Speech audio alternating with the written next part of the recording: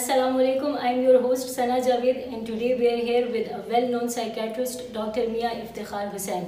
इन्हें कोई तारीफ़ की ज़रूरत नहीं है, क्योंकि ये ना सिर्फ़ अपनी कॉम्पिटेंसी और एक वेल इस्टेब्लिश्ड मेंटल हॉस्पिटल की वजह से ना सिर्फ़ पाकिस्तान, बल्कि दुनिया भर में पहचाने जाते हैं डॉक्टर साहब since the day you have decided to initiate a platform which is focused on addressing mental health issues why not let start with an introductory video so tell us about your background आपकी तालीम आपने तालीम कहाँ से हासिल की। Thank you very much Sana आ, मेरी इब्तदाई तालीम अपने गाँव तहसील पबी डिस्ट्रिक्ट नौशहरा से हुई। फिर आठवीं क्लास में मैं इस्लामिया कॉलेज स्कूल शिफ्ट हुआ वहाँ एडमिशन ली। और इस्लामिया कॉलेज स्कूल से मैंने फिर मेट्रिक कर लिया। वहाँ के टॉप स्टूडेंट में रहा। मेरिट पे वो फ़र्स्ट सेकंड पोजीशन हासिल करता रहा। स्कूल का मॉनिटर भी था वो जो बड़ा एजाज़ था उसके बाद इस्लाम कॉलेज से एफ़ कर ली। और उसके बाद मेडिकल कॉलेज में एडमिशन ले लिया खैबर मेडिकल कॉलेज में। आ, उस वक़्त सारे सूबे में एक ही मेडिकल कॉलेज थी और कोई दूसरा कॉलेज नहीं था। फिर खैबर मेडिकल कॉलेज से ग्रेजुएशन के बाद मैंने जनरल फिजिशन हेल्थ सर्विसेज़ में काम किया। सेक्रेटरी में मैं 1985 से मैंने ज्वाइन कर ली। आ, इस दौरान फिर मैंने कर ली थी पोस्ट ग्रेजुएशन सेक्रेटरी में पंजाब यूनिवर्सिटी से। और उसके बाद अमेरिका से फेलोशिप जो college of physician and surgeon है अमेरिका वहाँ से फेलोशिप ली। और 1985 से लेकर till my retirement the end of 2010 मैं खैबर मेडिकल कॉलेज में खैबर टीचिंग हॉस्पिटल में लीडिंग अस्पताल में, और जो मिंट साइकेट्रिक जो इस, जो हॉस्पिटल है Sarhad hospital for psychiatric disease जो ओल्ड मेंटल हॉस्पिटल है, वहाँ में एज ए कंसल्टेंट काम किया मैंने। और उसके बाद मतलब टू थाउज़ेंड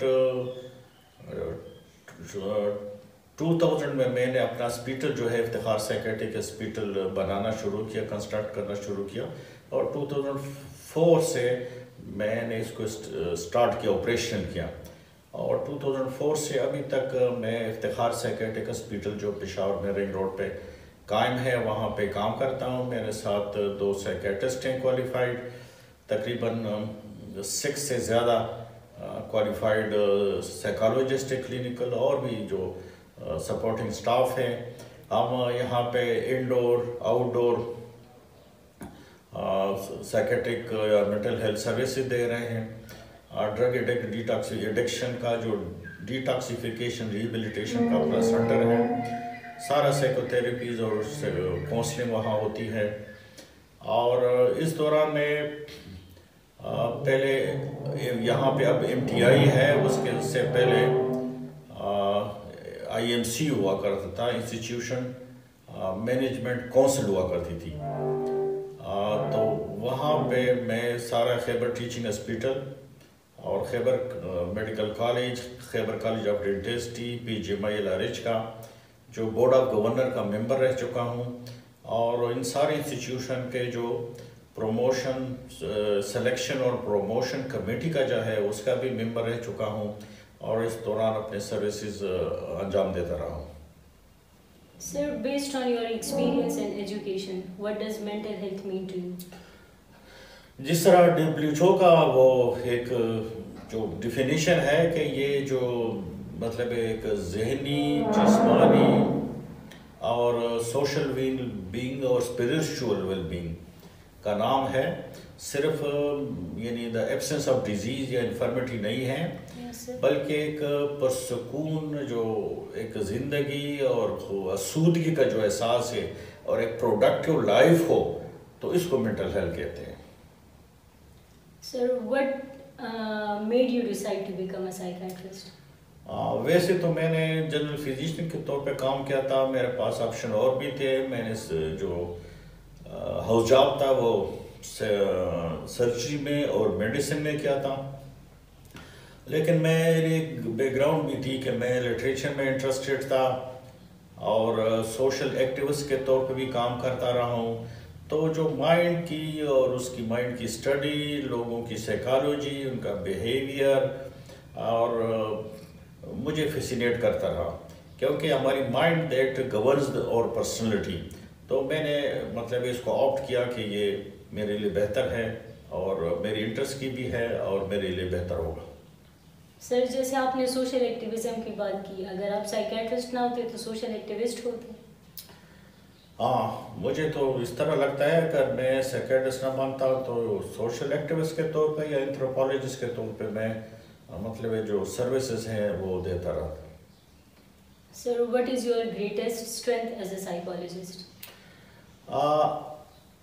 मेरी जो ग्रेटेस्ट मैं जो समझता हूँ कि जो हर सेकेटिस्ट में अच्छे सेकेटिस्ट में होना चाहिए कि he should be a good listener he should be able to empathise with his patients के सेकेटिस्ट को अपने आप को मरीज़ के मतलब जो शू में है उसमें रखना है। He has to fit himself in the shoe of the patient and वो रियलाइज़ कर सके फील कर सके कि मरीज़ पे क्या गुजर रही है और उसको रिफ्लेक्ट कर सके।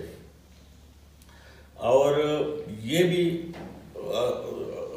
असेस कर सके कि अगर मैं इसकी जगह होता तो मेरा क्या रिस्पांस होता।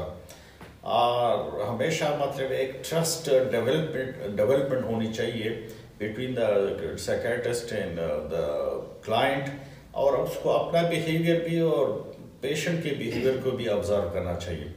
और जब वो हो वो उसको ऑब्ज़र्व करना चाहिए कि वो मरीज़ जो मैं, मेरे साथ चल रहा है कि नहीं, उसकी लैंग्वेज वर्बल और नॉन वर्बल जो बॉडी लैंग्वेज है, उस दोनों को ऑब्ज़र्व करना चाहिए। और मतलब है कि एक ट्रस्ट डेवलपमेंट के बाद मोर सेंसिटिव क्वेश्चन की तरफ़ जाना चाहिए। बिल्कुल sir. Sir what do you think is the hardest part about being a psychiatrist आ, मुश्किल तो ये है कि एक तो हमारी मतलब एक ज़्यादा जो फिनमिनोलॉजी है हम जो क्लासिफिकेशन करते हैं डायग्नोसिस करते हैं आई सी डी टेन जो है और डी एम जो अमेरिकन जो क्लासिफिकेशन है आ, उसके मुताबिक करते हैं लेकिन हमारी वो चीज़ है ना कि हम उसको ऑब्ज़र्व कर सकें जो डिस्क्राइब कर रहा है। फिर उसको हम फेनोमेनोलॉजी में कन्वर्ट करते हैं कि किस चीज़ में फिट होते हैं। डिल्यूजन में एलुसिनेशन में, किस तार किस चीज़ में फिट होता है और उसके बाद इंटरप्रटेशन करते हैं। उसके बाद फिर हम डायग्नोस पे जाते हैं उन क्राइटेरिया के मुताबिक। तो एक तो ये है कि, एक तो ऑब्जर्वेशन पे डिपेंड करता है। दूसरा ये है कि पेशेंट हमारे बड़े, सारे जो है एंजाइटी और डिप्रेशन हर वक्त उसी को सुनना पड़ता है और उसी को मतलब एम्पथाइज करना पड़ता है तो एक स्ट्रेस मतलब फुल एक वो है प्रोफेशन है। दुनिया में मतलब दोस्त सबसे स्ट्रेसफुल जो गाने गिने जाते हैं प्रोफेशन वो सेक्रेटरी है और इनिस्टीजिया है। उसके बाद पेशेंट बड़े अब्यूजिव भी हो जाते हैं। आ, कभी कभी एग्रेसिव भी हो जाते हैं वायलेंट भी हो जाते हैं। और ऑब्वियसली ऐसे पेशेंट को मैनेज करना फैमिली के लिए बड़ा मुश्किल है तो उनके फैमिली के भी जो उनका भी टेम्परामेंट उनकी भी एंगर और ये चीज़ें एंगजाइटी होती है उसको हमें एड्रेस करना पड़ता है। तो ये सारी चीज़ें इसको बड़ा चैलेंजिंग बना देती है हमारे लिए। सर जैसा कि आपने बोला your job is based on observation sir क्या आपने कभी किसी पेशेंट को मिस डायग्नोज किया है? हाँ ये तो होता रहा है। आ, हमारी जो डायग्नोज होती है हमारा हम उसको मेंटल स्टेट एग्जामिनेशन कहते हैं। जिस तरह मेडिकल सेटअप में इंस्पेक्शन होती है, फिर पल्पेशन होती है, फिर परकशन होती है, फिर अस्कल्टेशन होती है, हमारी जो ऑब्जर्वेशंस पे है और उसकी मेंटल स्टेट को देखना पड़ता है, उसके सारे बिहेवियर स्पीच को, उसकी एक्सपीरियंसेस को थाट प्रोसेस को, उसकी सेंसरी प्रोसेस को तो वो मतलब चेंज होती रहती है कभी मेंटल स्टेट और कभी इनिशियल स्टेज में होती है एक बीमारी तो वो हम एक डायग्नोस करते हैं, लेकिन फिर उसको हम फॉलो भी करते हैं। फिर देखते हैं कि अगर वो सही जा रहा है तो ठीक है। नहीं जा रहा है तो हमारी डायग्नोसिस में कोई प्रॉब्लम है हमने मिसडाइग्नोज किया उसको या उसको सही ट्रीटमेंट नहीं मिल रही या हमने कोई अंडरलाइन मेडिकल कॉज है। मतलब उसकी वजह भी से मतलब है कि वो साइकेट्रिक डिसऑर्डर्स हो सकती है। ये पहले हुआ करता था कि साइकी और सोमा जो बॉडी है वो अलग है। नहीं इस तरह नहीं है। जो माइंड है साइकी है, वो सोमा बॉडी पे इफ़ेक्ट करती है और बॉडी जो उसकी डिजीजेस हैं इलनेसेस हैं, वो माइंड पे करते हैं, असरात होते हैं। मतलब एक बंदा है ठीक ठाक है उसको हार्ट अटैक हो गया, ठीक है, उसको कैंसर हो गया, उसको टीबी हो गई एचआईवी हो गई, या ब्लाइंडनेस आ गई तो सारा मतलब है कि हिस्ट्रिक्टमी हो गई तो इसके असरात इम्पोटेशन हो गई। तो उसके सरातोमाइन पे ज़रूर होंगे। और अगर क्रॉनिक डिज़ीज़ है सेकेटिक का तो उसके साथ सोमा पे बॉडी पे भी हो सकते हैं।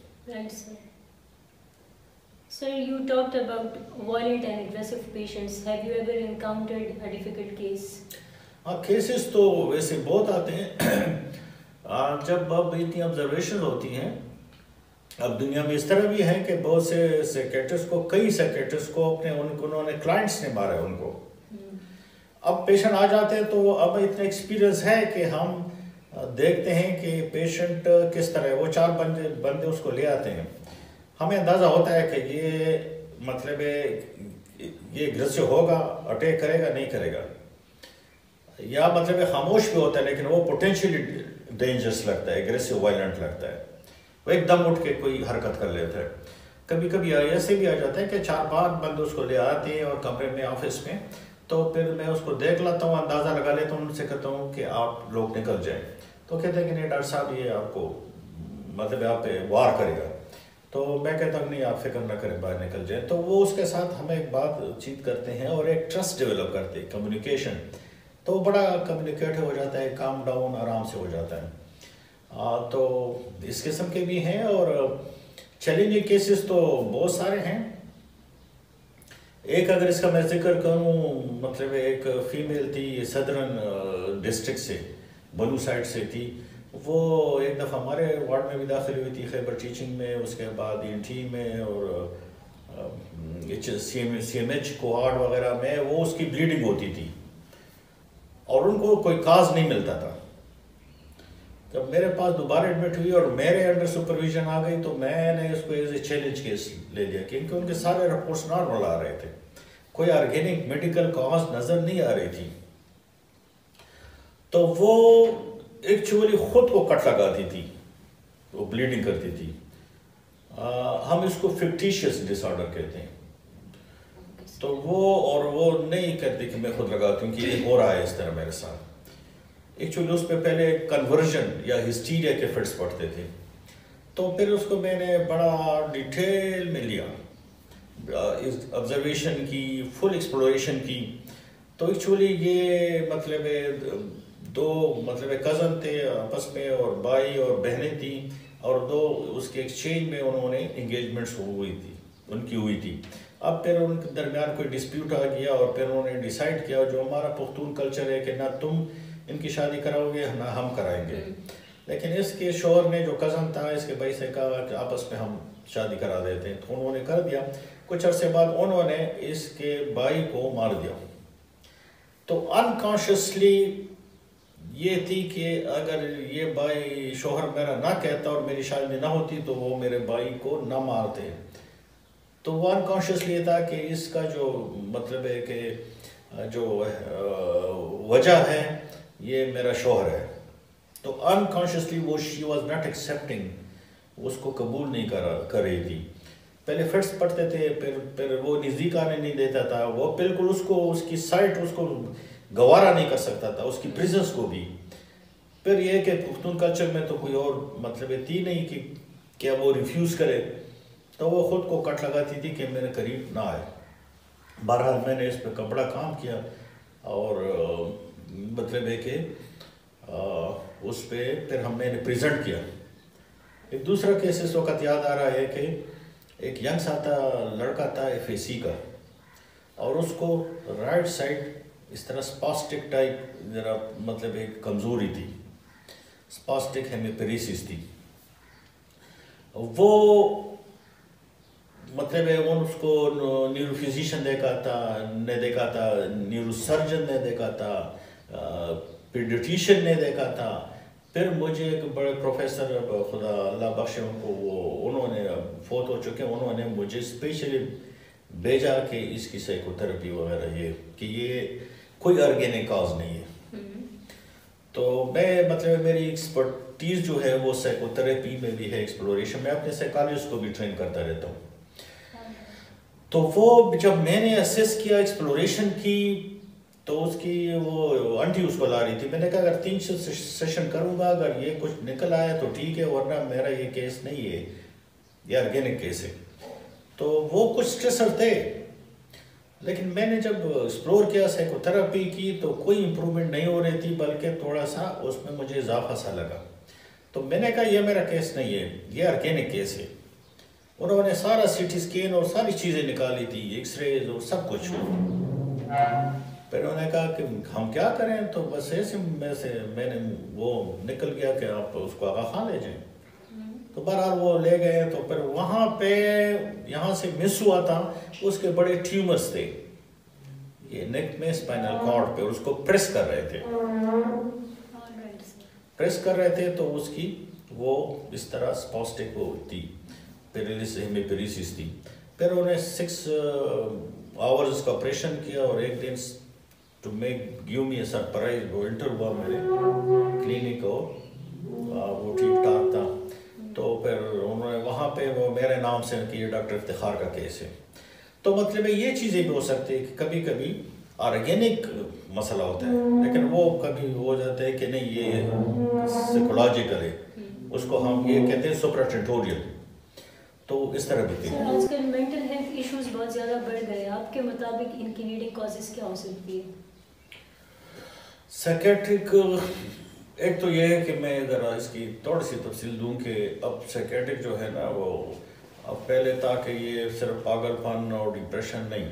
अब यहाँ से लेकर स्पेक्ट्रम से साइकेट्रिक साइकोलॉजिकल इशू से लेकर यानी पेरेंटिंग तक के औलाद को किस तरह पाला जा सकता है, सही अंदाज में, सेहतमंद अंदाज में, हमारे रवियों से टॉलरेंस से, खासकर ये कोविड नाइन्टीन की वजह से तो अब it's mental health for all मतलब उसमें सारे उसके जो उनके मेंटल हेल्थ पे क्या उसके असरात थे और किस तरह उसको मैनेज किया सकता है।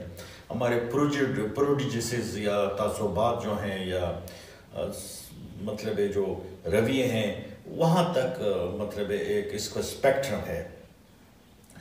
काजेज में मतलब एक तो ये है कि वो एक जेनेटिक काज होती है, जिस तरह डायबिटीज़ की है हाइपरटेंशन की है हार्ट डिज़ीज़ की है दूसरी इसकी बायोलॉजिकल ब्रेन में मतलब चेंजेस आ जाती हैं न्यूरो ट्रांसमीटर चेंजेस मतलब जिसमें बहुत से न्यूरो ट्रांसमीटर्स हैं। आ, उसके अलावा उसकी पर्सनलिटी है उसकी जो कोपिंग मैकेनिज़्म है वो किस तरह चैलेंज कर सकता है एड्रेस कर सकता है। और मतलब एक मुश्किल को एक स्ट्रेसर को एक प्रॉब्लम को मैनेज कर सकता है। और उसके अलावा जो फैमिली इन्वायरमेंट है, यानी उसके पेरेंट्स के दरमियान अंडरस्टैंडिंग उनकी रिलेशंस फ्रेंडली है नॉन फ्रेंडली है एग्रेसिव है वायलेंट है वायलेंस है। मह- मोहल्ले में सोसाइटी में फिर नेशनल लेवल पे इन्वायरमेंट किस तरह है? तो मतलब अब फाइनेंशियल अब स्टेट की फाइनेंशियल जो उसकी पॉलिसी क्या है उसकी मतलब एक सिटीजनशिप और उसकी सिविक राइट्स की पॉलिसी किस तरह है? यानी मतलब है कि एक पावर्टी जो है, वो बहुत बड़ी एक वजह है, गुर्बत, जहनी बीमारियों की। और उसके अलावा मतलब है, अगर वो एक्सक्लूसिव पॉलिसी होगी कि सबको सबको मतलब है कि सिटीजनशिप की इक्वल राइट्स हो मतलब ज़ुबान की बुनियाद पर इलाके की बुनियाद पर एथनिक्स पे रिलीजन पे या लिंग्विस्टिक पे डिस्क्रिमिनेशन ना हो जेंडर के बेस पे जो मर्द और औरत के वो उसकी बुनियाद पे डिस्क्रिमिनेशन ना हो। बल्कि सबको इंक्लूसिव करें और इक्वल राइट्स सबको हो सबको इक्वल अपॉर्चुनिटी हो तो ये सारे चीज़ों की इंटरेक्शन से जो मेंटल हेल्थ डिटरमिन होती है। अगर उसमें प्रॉब्लम हो तो उसमें साइकेट्रिक डिसऑर्डर्स या साइकोलॉजिकल प्रॉब्लम्स बनते हैं। बिल्कुल सर। सर दुनिया डिजिटलाइजेशन की तरफ़ जा रही है specially because of the COVID nineteen situation sir what are your thoughts on virtual therapy अब इसकी तरफ़ सोचना पड़ता पड़ेगा और आहिस्ता आहिस्ता ये डेवलप हो रही है। और ये अपॉर्चुनिटी है क्योंकि वो फ़िज़िकल और कांटेक्ट और ये ज़रा मुश्किल हो जाती है सेटिंग्स तो ये पॉसिबल है उसकी तरफ़ हमें जाना चाहिए। और मैं खुद अपने प्रैक्टिस में भी बाहर के मुल्कों से ये चीज़ें आ जाती हैं और हम स्काइप पे वगैरह पे इसकी सेशंस करते हैं और मैनेजमेंट भी करते हैं जी। सर अगर आपका एक क्लाइंट हो जो घर से निकलने में कंफर्टेबल ना हो would you be open for residential therapy इसके वाले से मैं कहूँगा कि एक तो ये कि उसकी एक लिमिटेशंस है, हमारे तो अपने स्टाफ की एक लिमिटेशन है, हमारा वर्कलोड ज़्यादा है। दूसरा, घर पे पॉसिबल नहीं होता, उसकी अपनी एक इन्वायरमेंट होती है। अलबत् ये है कि हम अपना स्टाफ और हमारे पास एंबुलेंस है कि हम प्रोवाइड कर देते हैं और वहाँ जाके उस क्लाइंट को हम मैनेज कर लेते हैं और अपने हॉस्पिटल शिफ्ट कर लेते हैं। अगर मतलब पेरेंट्स के लिए मुश्किल हो। सर मेरी जैसी एक student sir if she is going through crisis और a difficult situation sir can we contact you definitely हमारे नंबर्स हैं और हमारे पास साइकोलॉजिस्ट भी बहुत हैं। तो कर सकते हैं और उसके मुताबिक अगर ऑनलाइन हो या कभी अपॉइंटमेंट की ज़रूरत हो या इमीडिएट कोई उसकी रिलीफ के लिए कुछ उस पर टिप्स देने हो कुछ मेडिसिन देनी हो तो उस पर हम कर सकते हैं। Thank you so much sir sir आपके फ्यूचर के बारे में क्या प्लानिंग्स है? Sir what is the purpose of your YouTube channel मैं तो सेक्रेटिक सर्विसेज़ एक ये है कि I am the son of the soil इस मुल्क ने, इस धरती ने मुझे बहुत कुछ दिया और मैं ये फ़र्ज़ बनता है कि मैं उसको लुटा दूँ। अपने इस आवाम के, आवाम को, इस धरती को। तो एक तो ये सोशल एक्टिविटी वेलफेयर की एक्टिविटी से मैं काम करता रहा हूँ, लेकिन अब इस मरहले पे मैंने सोचा है कि ये मतलब ये हमारी जो 50 इयर्स की जो मेडिकल प्रोफेशन है, उसमें जनरल फिजिशियन के तौर पे भी सैकेटिक पैंतीस साल हो गए। तो उसमें कुछ जो कुछ हमने सीखा है, वो हमें कुछ डिलीवर दूँ डिलीवर कर सकूँ और अपने मासिस को, लोगों को पहुँचा सकूँ, ताकि अगर उसको कोई फ़ायदा पहुँचे तो ये अच्छी बात होगी। इवन प्रोफेशनल लोगों के लिए भी, एक साइकोलॉजिस्ट के लिए साइकेटिस्ट के लिए अब रियरिंग है पेरेंट्स के लिए है एडोलसेंस क्राइसिस है ड्रग एडिक्शन है आ, मतलब एक करियर जो प्रोफेशनल करियर उसकी सिलेक्शंस है तो मतलब हमारे जो इरिटेबिलिटी एंगर है साइकोलॉजिकल साइकेट्रिक सारे इस पे मेरा ख्याल है कि मैं वो एक एक करके इन पे मैं मतलब ये वीडियो बनाता रहूँ और मैं डिसमिनेट करता रहूँ। It's brilliant, sir. Thank you so much for being with us. Thank you so much. This brings us to the end of our interview. Our platform will not only be limited to interviews, but it will include counseling sessions and uh, open discussions related to any mental health issue because minds matter. Until then, Allah Hafiz.